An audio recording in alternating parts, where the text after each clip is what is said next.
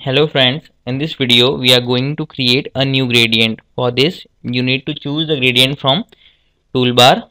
If it is not visible to you, it may be hidden under paint bucket. So right click on paint bucket and choose gradient tool. Now you have different options for gradient tool such as linear gradient, radial gradient, angle gradient, reflected gradient and diamond gradient. We will choose the linear gradient and we will click here to edit the gradient. Now these are called color stops.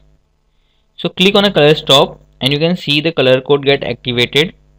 Now choose a color. Say I'm going for this. Okay, now I want a color stop in between. Say here. Okay.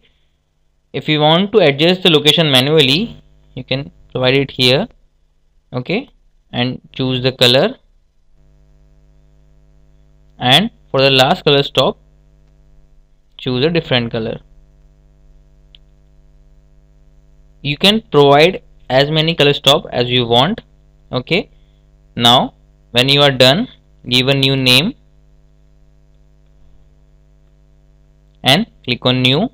Now you can see your new gradient is added. Choose the gradient okay open a new document to check the gradient. Now when you draw the line press the shift key. It will draw a straight line and leave. In this way you can make a new gradient. Thank you for watching this video guys